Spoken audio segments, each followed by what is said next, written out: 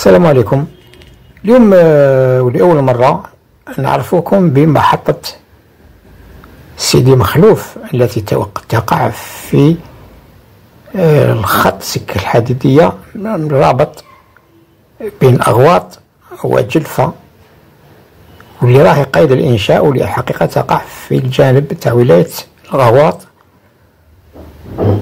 هو الأشغال راهي ماشية بها.